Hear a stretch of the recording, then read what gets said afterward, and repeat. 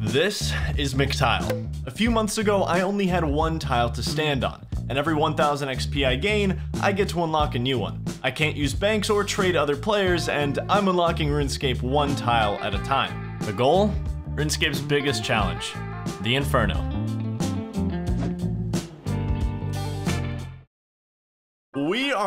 A turning point. After five months, every single skill requirement for the most impactful quest in RuneScape is completed. This quest will completely change this account, but there's one more mountain to climb. I believe I'm gonna need over 10,000 tiles to finish this grind off. The way I think about this is that I only have one thing left to do, but it's actually like 13 things packaged into one. Now that I have the skill requirements, I get to work on this massive list of pre-quests that I need before Song of the Elves. All of these quests combined are going to be thousands upon thousands of tiles that I'm not sure how I plan to stock up just yet. First up is Waterfall Quest, because this is a requirement for Roving Elves, which is a requirement for Mourning's End Part 1, which is a requirement for Mourning's End Part 2, which is a requirement for Song of the Elves. It's a long ladder, and you can see why we need so many tiles. It's gonna be an absolute mess. But that's okay, because I'm the one doing these quests, and you can sit back and relax and watch me use a billion tiles on all of them. Not to mention that after I finish these quests, I have an insane insanely difficult boss fight at the end of Song of the Elves that I don't think this account is ready for just yet but we're gonna have to manage somehow. Wait just a second. Hi, I'm a very real professional chef, and I am tired. Tired of spending hours cooking meals and then some more cleaning up the mess. And if only there were a sponsor of today's video that could help. Listen up because I'm only gonna say this a few times. Factor has changed my life, and I really truly mean that. I've been using Factor for the last eight months as it helped me completely change my exercise and diet habits around. As someone who gets exhausted thinking about having to make or cook multiple meals meals a day, Factor has completely changed my perspective. Look at all these delicious meals that will get shipped straight to your doorstep, pre-prepared and ready to eat in two minutes or less. And you can see what's in all of these meals. Just being able to take out a gourmet meal from my fridge and have it ready to eat in two minutes is an absolute game changer for me, and I, that just can't be understated. And there's choices for any kind of diet you might be on, whether it's keto or you're trying to be calorie smart, or like me, you just want to focus on the protein plus meals. Give it a try seriously, you can click my link in the description or go to factor75.com and use code POGSETTLEDMAY40 for 40% off plus 20% off your next month. You will not regret it give it a shot. This is to be the cheapest quest I do all week, and uh, that's not saying much because it's still to be a couple hundred tiles, I think. The quest goes a little like this. You find this book about a strange man, then you find this key in a cave. We get this pebble from a strange little man. To enter this tomb, you need no armor or weapons, which I don't have, but I think it's counting my rune pouch as a weapon, so it's not letting me go in, even though I dropped everything I had on me. I'm just to have to go die to Zulrah to get into this next part. While all my stuff is at Zulrah, I'm gonna take a trip to Entrana because I lost my Dramen staff during Lunar Diplomacy. I made it into a Lunar staff, and I kind of need that thing. I use fairy rings for basically everything. Okay, we are reunited. Let's go finish this quest think all my tiles are about to disappear. Yeah, because this is a new instance of the room. Well, it's the first one off the list. Waterfall quest completed, and we get a little bit of XP. At least we get some tiles back, so that's nice. You guys remember the cave we were just in for the last quest? Well, we're gonna have to go back there and enter a boxing match with a moss giant. That is pretty much this entire quest.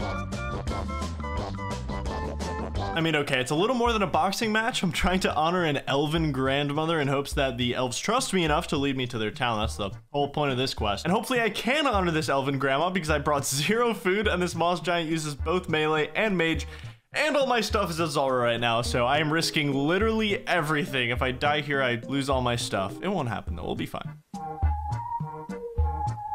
Oh, that was almost a three minute long battle and we got the consecration seed. We got to go plant this in the waterfall. I'm really glad I didn't have to leave to get food. Now we plant this seed in honor of Elven Grandma and uh, that is the last thing we needed to do. I get a choice between a crystal bow and a crystal shield here. I'm going to take the bow. I will get some decent use out of it, so I'm happy to take it. And that's another quest done. I would normally get a teleport crystal here, but I don't have the requirements for Mourning's End Part 1, which I'm actually not entirely sure what I'm missing here. Okay, so we've got two more quests until we can start that that, and then the Mourning's End line is gonna be, that's gonna be like thousands of tiles, just on like two quests, but I'm very happy with my crystal bow. I love the crystal bow. This was the best bow in the game back in 2005. Nowadays, it's a shadow of its former self, but we're trying to get the real champion of bows. Got my looting bag, so it's time to reorganize and get back to work. Sheep Herder is an extremely unfortunate quest for this account. I burned so many tiles trying to get these sheep to cooperate. All I have to do is lead these four sheep into this pen and it's quest complete. No, no, no, no, no, no. Bro is going all the way back. He is going all the way back to his spawn. The perfect timing. Let's go. Another sheep down. No, what is he doing? Hey guys, how's it, uh, How's it? How's it going? Could not finish sheep herder. I got three out of the four. All I need now are the yellow sheep, but I'm completely out of tiles. We just saved an entire city from getting infected by these sheep. Surely our reward is 3,000 coins. Being extremely tile broke at this point, I needed a new plan. I had three more quests to go, and the Mourning's End series will be a couple thousand tiles on its own. It was time to introduce Plan S. The S stands for super important side goals. There are three things that I absolutely need moving forward. First off, 80 magic. I'm currently way too weak to take on the final boss of Song of the Elves. This would be a step in the right direction, I'm trying to find a way to beat this boss without using blood spells. That would require completing Desert Treasure, which would be another three or 4,000 tiles. But if we do have to use blood spells, 80 magic is what you want anyway. Next is 65 Slayer. This unlocks the ability to kill Dust Devils, which drops my best set of gloves for the Inferno. Black D'hide Vambraces. This saves me the hassle of getting 79 crafting, an amazing shortcut for a really, really good upgrade. And finally, at some point during this week, I'll be getting 70 attack to round out my melee stats.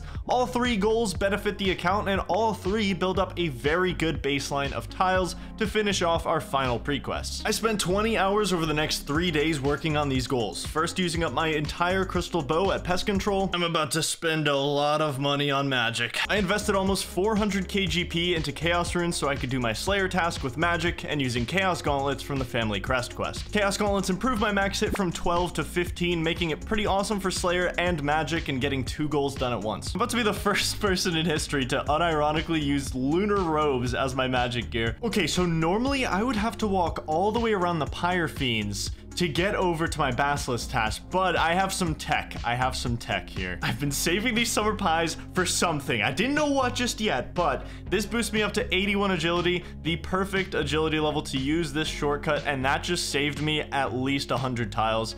Maybe 130, 140 just for that boost. Now I only invested, what was that, like 25 tiles to get to my Basilisk task? So for the next 20 hours, I used up all my runes, finished up a few Slayer tasks, and even got 70 attack, putting me up to 740 tiles while taking care of one of my three goals. Stocked up a bunch of pest points recently, and I'm just gonna use this on prayer. It's my toughest combat skill to train, and I probably want higher prayer going into Song of the Elves. So I'm taking my free prayer level 51. Been training a lot of magic recently, and we're almost at a thousand tiles again, so I think it's time for big chompy bird hunting. We're ready. We need a couple different things for this quest, one of which is a few wolf bones. I don't think this quest will be too bad tile-wise, and I do have a way to get these wolf bones completely tile free, thankfully. Nice. Okay, we got everything I needed. I bought way too many feathers, but we're not gonna look into that. This quest goes a little like this. First, we make some arrows. We take the inflation device. We inflate a frog. We use the frog as a little treat for this bird. You're in the wrong neighborhood. Yes, yes. Nice. I feel so blessed right now cooking this delicious meal for me and my homie. And that is quest complete big chompy bird hunting. I got like two tiles back from that XP reward. But guess what? It's time for Mourning's End Part 1 and then Mourning's End Part 2 and then we go into Overdrive. We're gonna be doing Song of the Elves. That's what that's what that means. I am at Puro Puro. I need a magic log for Mourning's End Part 1 uh, to finish the quest. And since I don't have the woodcutting level, I'm taking my chances with Nature Implings, which have a 10% chance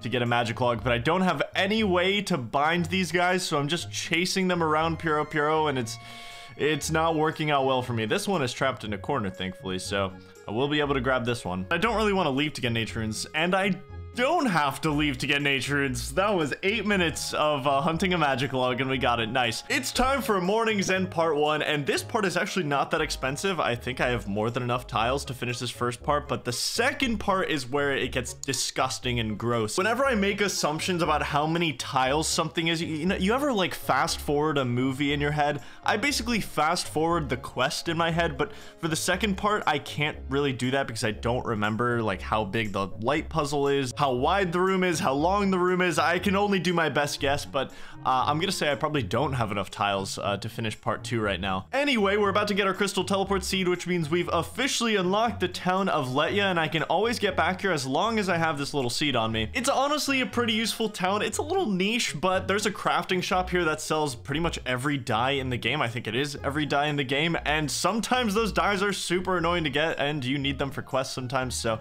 it's nice to have that. Other than that, there's a couple stores here, but mainly this is just gonna be the hub of the next three quests that we do. The quest goes a little like this. We make a little path over to the Arandar gate because we have a mourner to execute. We need his clothes, we need to infiltrate, that's what this quest is about. I bought some dyes from the Lletya crafting shop and infiltrated Mourner HQ. This entire quest hinges on gaining this guy's trust. He's gonna spill all the secrets about the Temple of Light to you. So we torture a gnome for a bit, we inflate some toads, and we use those toads as ammo in our medieval sniper rifle to recolor some sheep and make people keep believing in the plague. Now this guy trusts us with top secret information and we find out they're using the Temple of Light to summon the Dark Lord. No! Quest complete, time for part two. Mourning's End part two is less of a quest and more of just one big puzzle, but that puzzle is going to rob me blind of every tile I have, and it's only a baby version of the puzzle we'll be doing in Song of the Elves, so that's the scary part. That's where I'm going to be using a ton of tiles. So this is the Temple of Light. This is where the entire quest takes place, and it took me a little over 100 tiles to get here. Just to do the first step of the quest, I have to grab this blackened crystal, which is already 200 tiles just to grab this thing and teleport out. Now we replace it with a crystal of light, and we're gonna have to go make this entire puzzle work.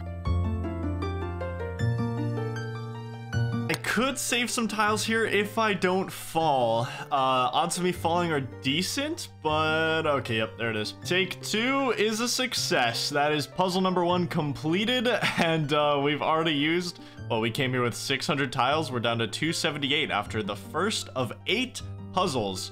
okay, um, I'm gonna teleport out here. I can't really continue. That's puzzle number three. We have five more to go, and I'm only on 60 tiles, so we still have the side goals, and I'm actually adding another side goal, which is 76 fishing. My inventory really isn't set up for anything else. I'm gonna go get some feathers. We're gonna try to get 76 fishing. That'll probably get me, like, 500 tiles, and that's still not going to be enough, but it'll be a start. Fishing level of 73. As you can see, I just got 74 fish. 75! And two days later, we are all done. Uh, shark fishing unlocked, 530,000 fishing XP gained. Another side goal taken care of, and uh, most importantly, 632 tiles now available. I don't think that's enough to finish Mourning's End Part 1, but we're gonna go see how far it gets me. I was getting absolutely ravaged in the Temple of Lights, so I'm gonna bring some prayer potions this time so I can just consistently pray against the shades. This ought to be enough to get through the entire quest, and I'll also bring some summer pies because I think the agility boost will actually be really nice for the handholds. I should uh, increase my chance of getting across them.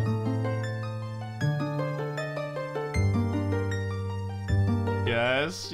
No! On the last one? Okay, we made it to the very end. We completed the light puzzle, but we're not done yet because uh, the most annoying part of this entire thing is just now beginning. Uh, see, there are two ways you can do this next part. You can either find yourself a death talisman. Not many good ways to get those. So because I can't get a death talisman in any other way, I have to bring him this entire list of 50 different items and then I can get into the death altar. So we are about to spend a lot of tiles on this list and we're gonna have to make multiple trips back to the Temple of Light to give him all these items because I can only carry so many. Unfortunately, I got a little unlucky with one of my items. It was one of the two RNG items that you can get on this list and it's the Dusty Key. The Dusty Key opens this door right here and you never even need it if you have 70 agility so I never planned on unlocking it but obviously since it's on this completely unrelated list now I have to go get it, despite having 70 agility, specifically so that I wouldn't have to get this key. But now we're 300 tiles deep and it's too late. I need it to complete this quest. Jeez. Swampletics really let himself go. Thankfully, a lot of items on this list are pretty simple, but the ones that aren't are pretty brutal. So I seem to have made a terrible mistake. I forgot to set the light beam to hit this door before I left, which means I can no longer get through this way.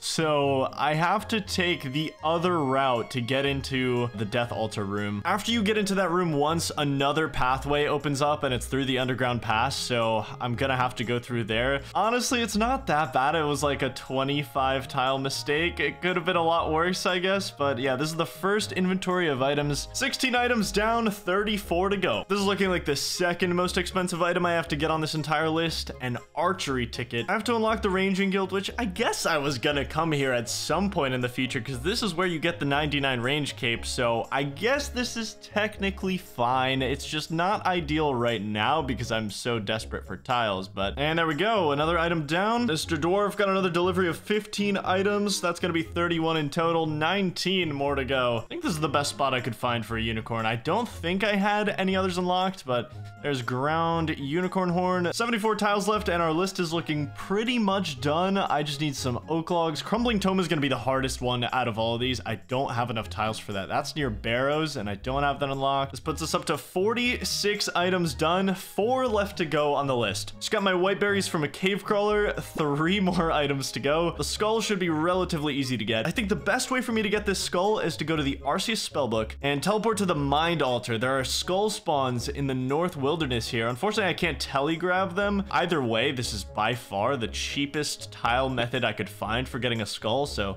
I'm happy with that. That's like 20 tiles. The best way I found to get potato cactus uh, without spending 400 tiles walking to a spawn point is by killing undead druids down here. 1 in 50 drop rate, and I'll be able to restock some tiles to finish off the list. Plus, we can get some grubby keys. Coming back from trip number one, no potato cactus yet, but we do have three grubby keys to open. The Law Rune restock. We love to see that. Uh, key number three. Yes, we got some brews. Literally exactly what I always want. Brews are the one thing I am always desperate for on this account. Oh shit, what? Potato cactus seed. Can I grow this? I actually got the 1 in 1000 seed drop over just the straight 1 in 50 potato cactus. I mean, this works. I can go plant this. That's cool. All I need to protect this thing is 8 snape grass, so I can let this thing grow. I'll see you in an hour. Rise and shine, potato cactus enjoyers. We have one more item on our list, and we can finish this quest up, but it's a pretty annoying one. I'm gonna teleport to Shades of Mort'ton, and we're just gonna see how close close I can get to this crumbling tome. No, we're so close, man. We're so close. It's right there. Damn. Okay, time to grind a bit. Slayer is the slowest side goal I have remaining, so I want to keep working on it. I've got an Infernal Mage's task right now, but I'm mainly just here to get enough tiles to get that Crumbling Tome right now. I'm back with 13 whole tiles, and we can also telegrab this to save a couple more five tiles remaining, and we have every single item at this point. I won't be able to step foot in the Death Altar uh, with five tiles, but that is every single item off the list. We're locked and loaded with 49 tiles and we finally get our death talisman. This took over a day. It took way too long. We had some difficulties. Now we imbue this crystal on the death altar and we are pretty much done with the quest. Nice try, Dark Lord, but you're not getting out of there, I've I've decided. Took 1,300 tiles to complete Mourning's End Part 2 and we actually get 60 back from that agility reward, which is nice, but Pretty long quest, didn't even expect it to take that long, but most importantly, I now have literally every single requirement for Song of the Elves. Every single one. Skills, quests, they are all done. I can now start this quest literally whenever I want. Obviously, I don't have the tiles to do so right now. This quest is monstrously expensive. It's gonna take some tile prep before I can do it, but man, does it feel good to have every single requirement. Finish up the last 2k XP to get this one, 77 agility. Song of the Elves is waiting for us at this point. We can see it, but there's a glaring problem in that this is the most tile demanding quest in the entire game. With With my current amount of tiles, I am nowhere near ready for the investment that this quest requires, which leaves me with only one good option. Welcome back to my favorite segment, the next 10 days of my life. Our side goals from earlier, still in play. I wanted to hone in on 65 Slayer, but simultaneously create an avenue through Slayer to put the account in a much stronger position for the infamous boss fight we have coming up. You'll see what I mean by that. I also decided to use Last Man Standing to supply myself with adamant arrows throughout my entire Slayer grind. As we know, Last Man Standing is a bit tough on this account, limited mobility in PvP, plus not being able to win games because I'm stuck wherever I spawn. Nevertheless, this is how I got my ammo. I even decided to take advantage of something during Slayer that would save me upwards of 15 hours in the long run. And there it is, S tier task, S tier task. An S tier task, in my book, at least right now for what I'm trying to do, is any task that drops this. This is an ensouled head, and that one ensouled Hellhound head right there is equal to 1200 prayer XP. You get anywhere from 4 to 6 of these every Slayer task, and I used to not be able to use them, but now that I'm high enough magic, I can go reanimate these after my Slayer task, and that's 5 to 7000 free prayer XP every task. It cannot be understated how valuable higher prayer is, and with no good method to train it right now, I have a chance to do it passively through Slayer and have a much better chance of beating the Song of the Elves boss fight. And this is how the next 35 straight hours of grinding looked like.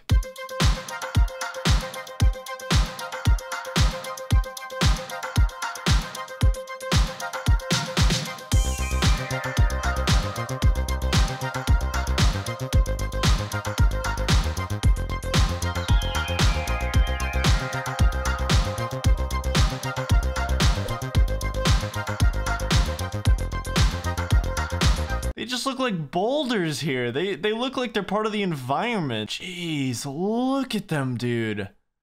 They're massive.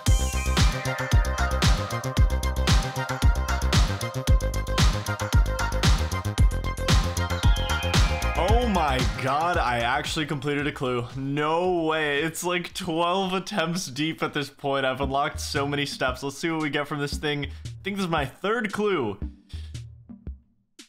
It's pretty good. It's it's pretty good money-wise. If I'm not gonna get anything unique, at least I got a pretty wealthy looking clue. 93 range, that's two full range levels I gained on this grind. Well over a million XP. We've spent quite a bit on clue scroll steps, otherwise I'd have way more tiles right now, but we've made some great progress. This is gonna be the final prayer level I get from this grind, but man, what a climb to 58 prayer from 51. All right, I kept track of this, and between getting arrows, using ensouled heads, getting new tasks, right around 36 hours to get 65 Slayer. Dust Devils unlocked. Black D'hide Vams unlocked as a drop from those Dust Devils. Awesome to have that taken care of. That was our main side goal, and we're up to over 1,400 tiles now. Now that we have a decent base of tiles to start Song of the Elves, there's two final obstacles in our way. A seed and a bar of metal quite literally. There's a long list of items you need for this quest, but two of these are particularly difficult to source and cause a lot of trouble. The Runite Bar and the Cadantine Seed. I really only have one option for each of these items. Magpie Implings for the Runite Bar and Master Farmers for the Cadantine Seed. As you can see, both of these items not exactly the easiest thing to get, especially the Cadantine Seed I'd say is especially pretty damn rare. It's a little deceivingly rare because you can pickpocket a lot faster than you can catch magpie implings, but I started off my day by spending three hours straight at Puro Puro and unfortunately no luck on the Runite Bar, so I decided to go over to Master Farmers and try my hand at the Cadantine Seed. That's gonna bait me so hard. Every time I see herb seeds now in my inventory, I'm gonna think it's Cadantine, and it's just not gonna be because the seed is so rare. I literally just sat here for eight hours straight and grinded out this seed. What's up, man? oh my god. What? When did I get these? What? I went over three times the drop rate for this Cadantine seed, but ultimately I did get it, leaving only the bar until we're completely ready for Song of the Elves. Dragon Impling? Cool. I mean, what I hate about this one is that I'm just hopping around and I'm not gaining any XP. I'm getting a lot of money though. That's that's the real benefit of this grind as opposed, oh, we got another magpie. And Dragon Dagger. Like I said, we're getting a lot of money from this. Not so much XP, but money is still pretty damn useful for me right now. Coming up on three hours of Puro Puro, we are at 53 magpies right now, so we're well over double the drop rate. Both this and the seed, I have just gotten super unlucky on. Please just be it. Yes! Yes! I'm done! Oh, finally, dude. Let's go. Runite bar. We're finally, we have everything. We have literally everything we need. Every single thing we need for the quest.